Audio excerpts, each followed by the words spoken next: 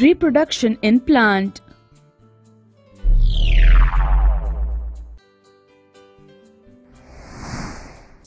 In nature, same kind of plants grow at different places. This happens because seeds are dispersed to different places. Sometimes, after a walk through a forest or a field or a park, you may have found seeds of fruits sticking to your clothes.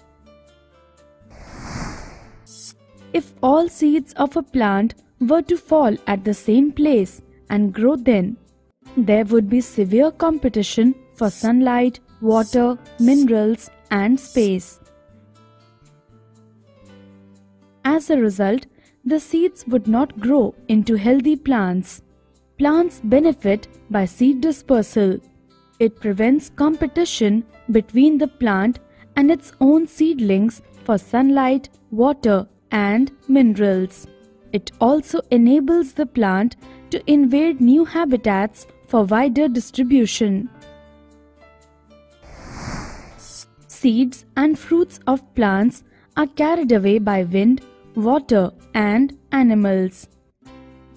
Winged seeds, such as those of drumstick and maple, light seeds of grasses, or hairy seeds of madar, and hairy fruit of sunflower, get blown off with the wind to faraway places.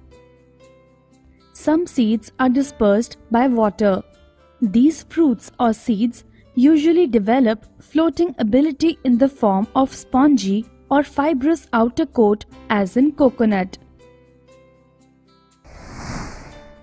Some seeds are dispersed by animals, especially spiny seeds with hooks which get attached to the bodies of animals and are carried to distant places. Examples are Xanthium and Urena. Some seeds are dispersed when the fruits burst with sudden jerks.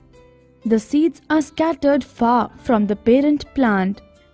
This happens in the case of castor and balsam.